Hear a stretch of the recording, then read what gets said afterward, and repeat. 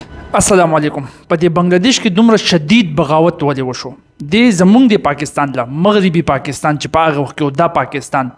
دلم اوس عبرت اغستل پکار دی د غزینت د بغاوت او د بغاوت حد ته وګوره چې د بنگلاديش کم فاونډینګ فادر او مطلب د بنگلاديش چې کم بانیو بنگلاديش چې آزاد کړو جوړ کړو شیخ مجیب الرحمن خلک په دې کې اوس دومره قارو چې په هغه پسې د هغه په سټیچو پسې د هغه په پوتلې پسې د هغه په بوت پسې برغت دي او هغه سټکونه وته نیولې دي چې په کم ځای کې بوتلې وي هغه وګرځولې په کرینونو باندې او ماتې کړلې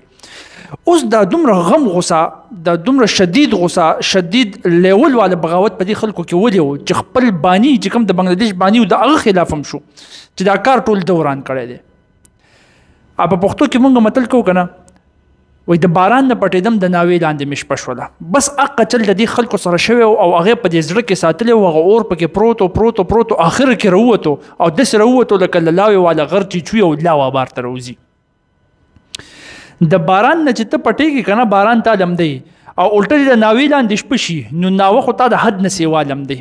د قشنت کې دوی د یو اسټابلیشمنت ازادي حاصلول چې موږ ته دیموکراسي ملو شي هغه چا چې ول ازادي ورکول هغه په بل اسټابلیشمنت کې نه باسلو زما خبره ته وکړه دا د څه کار وشو کنه چې د 1970 خبره ده یحیی خان په دې پاکستان کې هغه وخت کې د بنگلاديش مشرقي پاکستان او دا پاکستان مغربي پاکستان او ویسټ پاکستان اوس دی یحیی خان وی چې مونږ به کو الیکشن الیکشن چې کله وکړل په 1970 کې نو تقریبا د شیخ مجیب الرحمن هغه وخت کې دوه مین پارټیان وي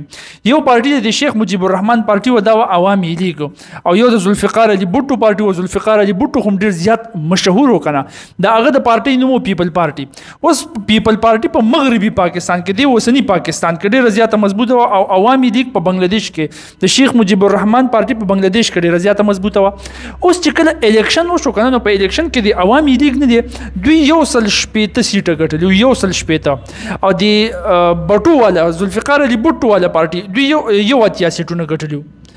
او ظاهره خبره ده سیوا سیټونه خو د عوامي لیګ نو پاور خو اوس د دوی سره په کارو حکومت په ټول پاکستان کې حکومت د دوی په کارو خو په دغه ځای کې چې کله هغه نېشنل اسمبلی هغه اجلاس کېدو هغه دوی کینسل کو کنه نو شیخ مجیب الرحمن ته پته ولګی چې دی دا پاور اوس مال نه راکې پاور د د حق کېدو د د پارټي حق کېدو خو پاکستان دی مغربي پاکستان وسره زیاتې وکړو چې په هغه ټیم کې ولاغه پاور ور نکو بس هغه بغاوت پاغه ځای کې وکړو هغه خپل شک شپږ پوینټس بیا کې خودل 6 پوینټس چې یاره زمونږ به پروینشل اټانومي زمونږ به ځان له سیپریټ فارکس ریزرو زی زمونږ سیپریټ آرمي مونږ به ځان له کلیکشن اف ټیکسس کو ټیکسس په خپل راټول هغه شپږ پوینټس ورته کې خودل چې دا بر سره منی او په هغه کې ورسره هغه دوی نه منله هغه شانته کې دا پاور په دې مغربي پاکستان کې کنسنټریټډ ساتلو نو هغه نتیجه دار وو ته چې هغه دومره سخت بغاوت وکړو چې د هغه نه یو لایبریشن وارو درېدو جنگي ازادي تر ودرې دا وی چې موږ به اوس د پاکستان د خپل ازادي او خپل ملک جوړو او په هغه کې انډیا خپل مدد د شیخ مجیب الرحمن او د بنگلاديش وکړو ځکه چې د انډیا په خپل فائدہ خه کافي و او بیا په 1971 کې چې کوم جنگ وشو چې پاکستان په کې شکست وخوړو هغه تاسو مخامخ ته تاسو ته خپته ده صحیح شو خو اوس د هغه خلکو چې کله ازادي حاصله کړو نو د هغه خلک خو ډیر زیات خوشاله وکنه چې خواږه به اوس ملاویږي جنگ هم کړی د شهیدانو مر کړی دي اوس به خواږه ملاویږي جمهوریت به اوس راځي څه چل وشو په دقیق پسې څه چل وشو په 1973 کې چې کله د پرایم منسٹر په بنگلاديش جوړېدلو کې بیا الیکشن وشو د ټولو مشهور کس خداو نو د بلاش سیټونه وګټل نو د پرایم منسٹر شو په 1973 کې په 1903 کې د پرایم منسٹر شو دوه کال بعد په 1915 1975 کې د یو کانسټیټیوشنل امندمنت وکړو په آئین کې څه ترمیم وکړو اوس د دې ځای نه لوبه کېدل شروع شو د ځان د پاره د خپل پارټي د پاره تخزوال شروع شول د څه چلو کو د ځان پریزیدنت کو صحیح شو ځان صدر کو او ځان د صدر کولو نه بعد د ځان سره مکمل د اختیار داسې واغستو څنګه چې لکه د یو قسم له ډیکټیټر سره دغه پسې د یو پارټي جوړ کړل ای پارټي ته موږ په تاریخ هغه سیستم چې کوم د جوړ کو هغه ته موږ وایو ون پارټي سیستم د څه جوړ څه شي جوړ کو بکسال بکسال دا یو اکرونیم دی صحیح شو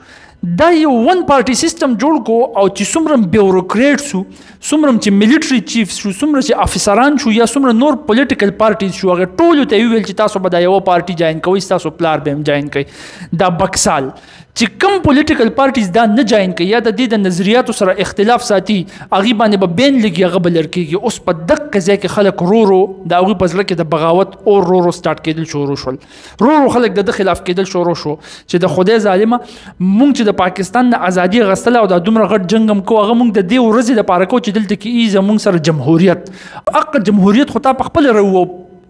پسې شي باندې پټانګي باندې هغه جمهوریت ته مطلب هغه چې کوم جمهوریت ته پر موږ جنگ کړو خو تا په خپل تسنس کو چې کوم پولیټیکل پارټي ستا سره اختلاف ساتي هغه ته ختمه د پارلیمنت پاور ته د ځان سره په لاس کې واغستو یو قسم د ډیکټیټر شوی فریډم اف سپیچ ته ختم کو چې څوک د دې نظریات سره اختلاف کوي هغه به بین کیږي د دین علاوه د پد کې وي چې دا کمې پارټیانې ریلیجیس پارټیانې مذهب د سیاست سره یو ځای کوي نو په هغه باندې به بین نو په هغه کې وګورم مشهوره پارټي جماعت اسلامي په هغه باندې خه مضبوط بین ولګیدو جماعت اسلامي دی خه مضبوط بین کړو جماعت اسلامي خلک هم ټول د دوی خلاف سو او سو شو خه مضبوط او عام خلک هم ورو خلاف کېدل شروع شول چې دا خو جمهوریت ورو ختمي کې د خو ډیکټیټرشپ طرف روان دي نو ګوره دلته کیسه چلو شو د اصل کې د یو اسټابلیشمنت نه سړی خلاص کوم چې کم د پاکستان د طرف نه یو اسټابلیشمنت په دی باندې زور د هغه نه خلاص کو اصل کې د لاړې انډین اسټابلیشمنت طرف ته چون کې په دې جنگ په ازادي کې انډیا د سره مدد کړو خو مضبوط مدد کړو نو د به هغه کار کو چې کوم ته انډیا ویل چې څنګه د انډیا اشاره کوله په هغه اشاره باندې بده چلیدلو نو هغه د خلکو په ذهن کې رورو کې ناستل شروع شو لغوي چې لکه مونږ خو د پاکستان طرف نه کوو زمونږ د پاکستان د ازادي غسل څخه کم جنگ کړی خو زمونږ دا مطلب هم نو چې مونږ د انډیا په اشارو چلی کو دا خو اگین بل اسټابلیشمنت دی او په دې کې چې کوم د مذهبي خلکو دی خو بیا بيخي د خلافو چې مونږ د پاکستان نه ازادي واغسله د مسلمان نه ازادي واغسله د هندو په اشارو بوسلی کو د هندو خو د سره نه مونږ دا خو د سره خلاف یو په دغه ځای کې دا خبره نه دا باران نه پټېدم نو د ناوی لاندې مې شپه شو هغه چل د دوی سره وشو نو د دوی په زړه کې هغه اور لګېدل شروع شو او د رورو د خلاف کېدل شروع شول هغه خلاف کېدل دونه وسیح حد پورې لاړل چې تقریبا عمدقه بکسال پارټي چې د جوړ کړه زیات نه زیات او میاشتې او میاشتې او شو خلک د دومره خلاف شوی وو چې فوج دا غي نه فائدہ واغسته چې خلک اسیم د خلاف ولاړل اوس لا ټر ملټری کوپ وکا فوج د په قرباني حمله وکړه او پاغه ځکه اجازه نټ کو ختم کو ویشتو لهذا اوس د دې نه عبرت زمونږ د پاکستان ایلیټ کلچر له هم پکار دی چې کوم ایلیټ خلک دی یو قسم له اسټابلیشمنټ د غریب عوام حق وي هغه لم لګ عبرت اغسل پکار دی چې دا څه چل کېدی شي ته سوچ وکړه په پښتونخوا کې څنګه د امن حالت ګډوډ شوی دي خلک ټول را پاسېدلې دي بلوچستان کې خلک ستا خلاف شوی دي په ګلګت بلتستان کې خلک ستا خلاف شوی دي ته دې خلکو له دوی حقوق نه ورکې دا به خامخا ستا خلاف کیږي نو داسې قسمه کارونه په هغه ځای کې بیا کېږي ځکه چې خلک په خپل سوچ وکړي چې موږ موږ د ملک آزاد کړی د دې لپاره و چې موږ خود مختار یو زموږ په خپل وسایلو په خپل خاور باندې خپل اختیاري او نیکسټ په دې پسې وګوره دا چې کوم د د لور و شیخ حسینه د تر هم سیمبل اف دیموکراسي وي دیم دا شو کول چې زه خو جمهوریت مینټین ساتم رو رو پته په قلار قلار ولګي چې دا غزان له یو ډیکټیټر و دا اغه خلک د پوسټونو کې ته کتل شي په فیسبوک باندې خو تا ته کولیام ملاویږي چې هغه وایي چې شکر دی چې د شیخ حسینه ډیکټیټر نه خلاص شو څوک وته وي خدای چې د سیکولر ناګین نه خلاص شو څوک سو یو څوک سوی نو اصل کې دیم هغه قسم د ډیکټیټرشپ شروع کړو لکه اوس چې کوم الیکشن وشو بنگلاديش نېشنل پارټي هغه بایکاټ کړو جماعت اسلامي د ټوله بین کړو ته سوچ کړه جماعت اسلامي نه دا هغه لیډرز د نیولیو د ټکولیو بلا شو له پکې پانسیانې ورکړې وي هغوی نه پرېښودل الیکشن طرف ته هغوی خپل سپیچ کولو ته نه پرېښودل چې خپل رای کېږي د عوام مخې ته دې ته نه پرېښودل بس حکومت به زما خدا ډکټیټرشپ دی که نه دوه زره اټ نه وله دوه زره چوبیس پورې او دوه زره اټ نه دوه زره چوبیس پورې دا پوره کریک ډاون ده په د جماعت اسلامي باندې دوی روانو هغه ګیر کړي هغه د الیکشن پروسس ته نه پرېښودل هغه چې څنګه سیاست کیږي او په جمهوریت ملک کې هغه شانته کې عملونه ته نه پرې خودل نو خلک په دې خلاف کېدل او د هغه وجه دا و چې دام په حق قدم تله په کم قدم چې د دې والد صاحب تلو چې سیکولر بنگلاديش او هغه فول د انډیا په سپورټ باندې ګوره دغه ته کینه د درې پارټي یو بنگلاديش نېشنل پارټي شو یو اما عوامي لیګ شو د دوی پارټي شو او بل جماعت اسلامي شو دا چې ته جنرالي وګورې کنه دا پوره لیفټیست سیکولر حکومت غواړي چې د مذهب په پسې کار نه مذهب په کې لړکې جدا کوي چې د سیاست څخه کار نشته او دا فل د انډیا په سپورټ کې دي فل د انډیا په سپورټ کې او انډیا د دوی په سپورټ کې ده دا چې کوم خالد ضیا والا پارټي دا ته بچي اور کنه چې پاکستان ير خالد دا غ چې وي په دغه کې هغه د دې طرف نه مختلف قسمه احتجاجونه کېدل نو دا بنگلاديش نېشنل پارټي دوی د انډیا خلاف خود خپل مینیفیسټو ساتي خپل خبرې خپل منشور ساتي خو د سی بیا په عمل کې چوغور نو سنا سره د انډیا طرف کوي د انډیا چې څوک مکمل خلاف نه غو جماعت اسلامي او ځکه غوي چې دا کم حکومتونه قائمي کې په بنگلاديش کې نو موږ سیکولر حکومت نه منو حکومت با نظام با د الله تعالی پس مکه باندې د الله تعالی نظام چلیږي نو مطلب هغه خو مذهب د نه راتلو اسلام راتلو دین راتلو نو دا پوره دوی ته د رایټیست په شکل کې قتل کېدل او د ټولو نه غټ مزاحمت او کریک ډاون او نیول او وال او ټکول هغه دوی د جماعت اسلامي والا کړو نو بس هغه هم پسې بیا را پاسېدل را پاسېدل او سپس خلک هم ورسره ودرېدل ځکه چې عام خلک هم بلا شي په غټ تعداد کې د دوی د حکومتونو نه تنګ شوي وو او ته پته لګېدل چې دا باقي ډیکټیټرشپ دی دا غ جمهوریت نه دی کوم جمهوریت چې مونږ داغه د لپاره جنگ کړو او غستلو او دلته کې ګوره یو بل سوال ستا په ذهن کې اوس راتلل پکار دی چې سر د دې په دې حکومتونو کې چې لکه بنگلاديش د پاکستان جدا شوی د ترقی سونه ترقی وکړه حقیقت د چې ترقی کړي و د دوی جی ډی پی خپ بره باندې تل د دوی اکونومیک ګروث هټیټ شوی دی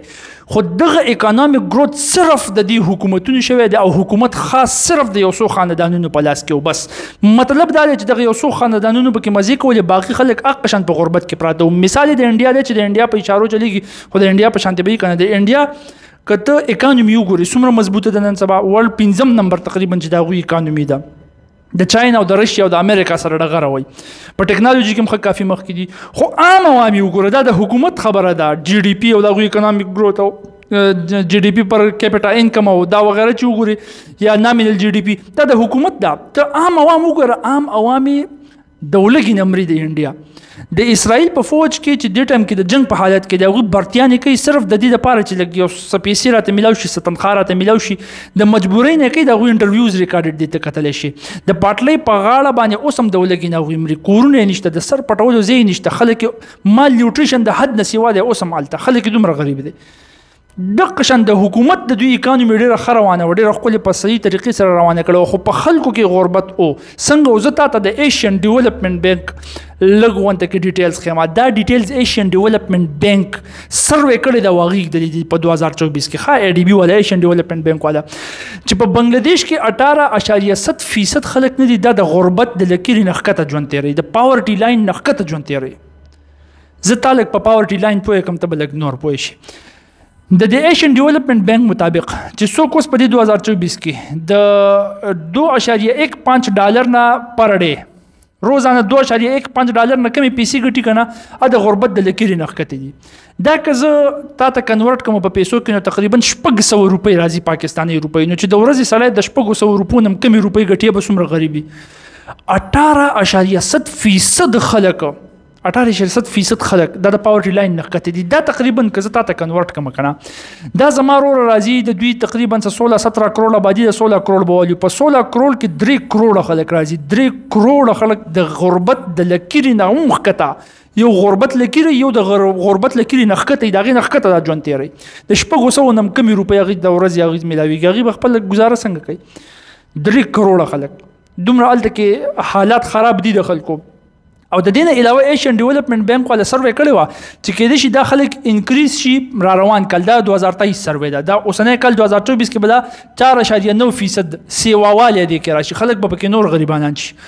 هغه 4.9% خو دوی صرف پریډکشن کړي او خبره سیوا سمره شو 5.1% د حد نه ورپسې سیوا شو دی خو ګره تقریبا 15 لاک خلک دا راځي 15 لاک خلک پکې نور هغه شامل شو چې د غربت د لکیر نخکته ژوند تیری نو ته سوچ کولای شي چې خلکو هلته کې څه حالو هلته کې بیروزګاریم خه کافي د حد نه سیوا شوی او ان امپلایمنت په دې وجه باندې خو چې کوم دا کوټا سیستم دی د دوی په دې حکومت کې د عدالت نه دی د عدالت واپس بحال کو چې را سرکاري جابونه کې به کوټا سیستم وي دیرش فیصده چې چا د بنگلاديش د ازادۍ جنگ کړی دا غوي د بچو 13% نو خلک پس وروته چې یو خدا حل دی د غربت بل روزګارونه نشته باغې د پاسه مونږ مهنت وکړو چې چرته کې سرکاري جاب راته ملاو شي چې خپل کور وساتو خپل بچي وساتو او تاسو پکې سر خاص خاندانونو بیا د غي بچو کړوسو ردو پردو له دومره فیسیلیټیز دومره مراعات ورکوي چې حکومت خو دا غوي دی دی مزي خو غوي وکړي وکړي اکانومي د حکومت خده مطلب د اغویم جیب خده او ورسره ولدلته کې دا جابونه ورکوي نو دا چاته خیرات دي نو سټوډنټس را پاسې دل چې سټوډنټس را پاسې دل نو بیا چې کم خلک مثال کې تور پر جماعت اسلامي والي شو د چې پکې نور اسلامیک تنظیمونه شو د چې بنگلاديش نېشنل پارټي شو چې هغه وی چې را دا حکومت نه دا حکومت چې لر شوی نه دا د فریډم فایټرز دا انسیسټرل لینیج نه شیخ مجیب الرحمن بیا د غلی رو بیا پسې د سرازه دا چې لر شوی نه دا ډیکټیټران دي دا چې لر شوی نه نو بنگلاديش نه خکېږي نو هغه د سټوډنټ سره ودرېدل سټوډنټس د هغه سره ودرېدل او هغه احتجاج دومره ګرم شو دومره ګرم شو چې شیخ حسینا نه ریزینیشن واغستو او وی لګل اوس ال خلک خوشحاليانه مناوخي چې اوس بدلته کې مونږ برابر جمهوریت قائمو نو هغوی په زړه کې هغه نفرت دومره سیوا شوی و چې هغه کمی فاونډینګ فادر و مطلب چا چې ولا بنگلاديش آزاد کړي او بانیو دا هغه بوتونه مارته ول چې دا تا زمونږ سره ډوک پوک کړي دي تا زمونږ د پر جمهوریت نه غسته واپس دی یو اسټابلیشمنت نه راوستونه بل اسټابلیشمنت دین نه کړو او هغه اسټابلیشمنت چا دی هغه د انډیا دی زما یو لیکچر دی هغه تاسو ګورئ دا هغه لیکچر نوم دی 3 اسټابلیشمنت آی ثینک سو چې په دې دنیا کې درې غړ غړ اسټابلیشمنټس هغه د ممتا ته بلاشه خبره کلیر شي هغه ته لګو ګوره نو اوس انډیا والے د کار کړی چې دا حکومت خو چې په دغه ځای کې واوړید نو انډیا ته پته ولګی چې دا حکومت راته اوس پرو پاکستان ښکاري دا مال کار کتش نو انډیا په دغه ځای کې اکټیو شوله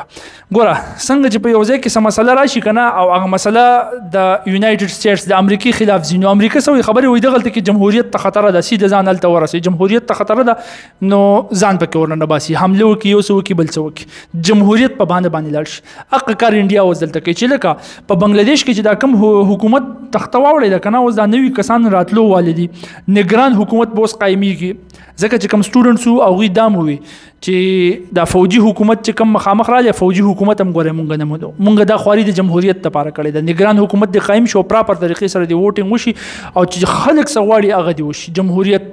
په صحیح معنی کې جمهوریت راشي صحیح شو نو دی وسو چې دا کوم حکومت دغه ته راځي نو دغه ته هندوانو ته خطر ده هندوانو ته نو څه چې کړه خپل بي اس اف آرمي خپل فوج هغه غیر چا پیره د بنگلاديش نه داسې ودرولې د انډیا خو د بنگلاديش نه غیر چا پیره د کنه دلته هم د دلته غ چکن نک د دلته کې انډیا د دلته خلیج بنگال دی نو غیر چا پیره خپل فوجان دغه ته ودرولې دی اوس د دوی سې اراده دغه به ته مخکې پته ولې کې خو اراده هم دا دا که د بنگلاديش نه سه اخو دی خو حرکت کېدو نو چې مونږ رډیو ځکه دوی ته اوس د شخکاری چې زمونږ چې کوم د پرلی والا پارټي و چې زمونږ په چارو باندې بچلیدل چې الته کې ورته خلکو ډیکټیټر ویل شي حسینه خو دې خو راو تختید حکومت خداغي وړي چې داغي حکومت وړي داغي خلاف خلک داغي خلاف خلک مطلب زمونږ خلاف خلک نو دی وسګر ته پر پدې ځکه خپل آرمي ودرولې ده نو دا غریزه نو چې دغه حکومت سچل وکړو دا کم چا چې دا بنگلاديش آزادو د کم پارټي چې دا بنگلاديش آزادو چې په کم سوچ باندې چې ایلیټ کلچر نه چې کم خاص خلک حکومت په خپل لاس کې کنټرول ساتي او غریب خلکو ته دا غوي حقوق نه ملاويږي دا غوي وسایل دا غوي په خاور باندې دا غوي اختیار نه دا به دوی ته ملاو شي د دې د پاره جنگ کړو بنگلاديش آزاد کړو او د یو زینه یو اسټابلیشمنت نه آزاد کړو په بل اسټابلیشمنت کې وین خطر هغه دا غوي حقوق اقشنت کې ملاو نشو نو په هغه وجه باندې هغه غم غوسه په هغه کې سیوا وا اوس ګوره د دین دقه عبرت نه د عبرت دا هم د پاکستان لم اغسل پکار دي چې په دې پاکستان کې کم د ایلیټ کلچر روان دي د جماعت اسلامي وستلې د کنه په اسلام آباد کې درنه کې د سیش خلاف کې د دقه ایلیټ کلچر خلاف چې کم مثال کې تور پر پاغي کې یو د آی پی پیز په شکل کې دی ناس ته یو ډریکولا د ناس ته چې څومره پیسې د بجلی د بجلونو په شکل کې د عوامو د سرمنو نه ایستې چې کنو قمرتي وباسي ګینه د سي حتی عوام مجبور کړي چې ته بجلی مې استعمالو د کاني په دور کې پاتې شه نو دا یو الیټ کلچر دلته روان دي دلته کې خاص خاندانونه د دې عوامو نه د دې عوامو په ټیکسونو په پیسو باندې مزي کول شي او ته مراعات او ته فیسیلیټیز او عوام ډیر زیات سخت غیر او سخت خراب دي د اغه د وجه نه د حالات داسې شوي چې په پښتونخوا کې احتجاج په بلوچستان کې احتجاج په ګلګت بلتستان کې احتجاج دا سوچ دوی لم پکار دی دلته کوم توجه پکار ده ګینه دا حالات دلته کوم بیا اني ټایم د بنگلاديش په شانته کې کېدې شي او ګډوډېدل شي نو لہذا دا غي مخ کې کدي توجه وکړي په پراپر طریقه باندې دا مسایل حل کړي خلکو له داغي حقوق ورکي پروینشل اټانومي ورکي خلکو ته د هغه په ځایونو کې ډیولپمنٹ والا کارونه وکړي ترقی کارونه وکړي نو خلک به یو موټی بیا په یو نظریه باندې ودرېږي ستاسو په خیال باندې که داسې مسایل زمونږ په ملک کې چې کم دي د هغې حل څه کېدای شي بهترین څه حل کېدای شي د خپل رای اظهار په کمنټ سیکشن کې وکړه جزاکم الله خیر